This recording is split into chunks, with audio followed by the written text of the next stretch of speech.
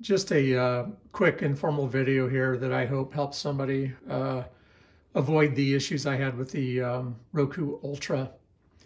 Um, I got the Ultra and um, you know had the had the uh, Roku um, streaming stick 4K as well. And one thing I was noticing that on the Roku Ultra, all of the uh, uh, streaming that I had, everything on there looked like it was a video game or sort of a smeared, painted, cartoonish look to everything on there.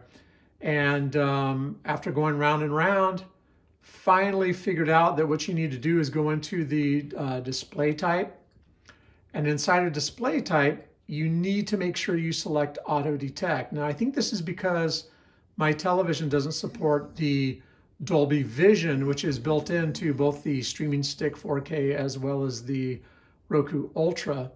The first time I went in here, though, to do auto detect uh, with my Ultra, the screen never came back where I could confirm that the settings were good. And so then, of course, the Ultra is going to de uh, determine that, well, that's not the proper setting.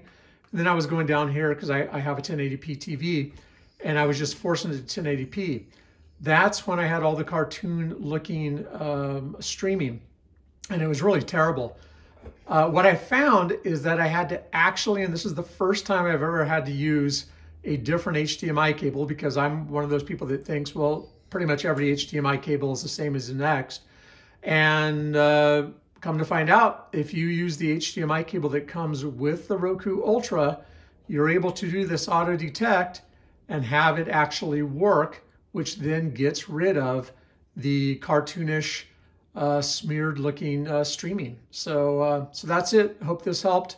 Uh, pretty, uh, pretty simple fix once you know uh, what to do. That's it.